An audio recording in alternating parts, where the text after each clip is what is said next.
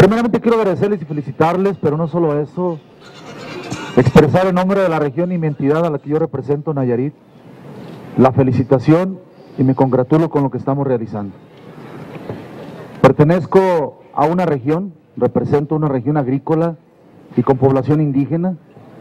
Pertenezco a una entidad rica en recursos naturales y en consecuencia por sus ríos se han construido importantes presas como la de Aguamilpa, el Cajón y la Yesca. Somos generadores de energía eléctrica y nos encontramos en esta ironía. Pero es ironía donde es una característica de nuestro país derivado, y lo digo puntualmente, a los malos gobiernos. Una empresa como Comisión Federal de Electricidad mexicana, al servicio de los mexicanos, hoy se está convirtiendo verdaderamente en un verdugo de la economía de ellos.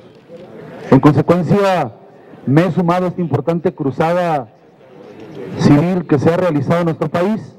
He entregado el paquete de firmas, pero no solo eso. Por esta vía civilizada y parlamentaria estamos realizando lo que a derecho corresponde, pero fundamentalmente a nuestra obligación. Por ello, Isaías, César Augusto, compañeras, compañeros, lo que sea necesario. Responderle a nuestros representados en esta circunstancia, indudablemente que es obligación, es un compromiso moral y por ello en este momento estamos aquí con ustedes.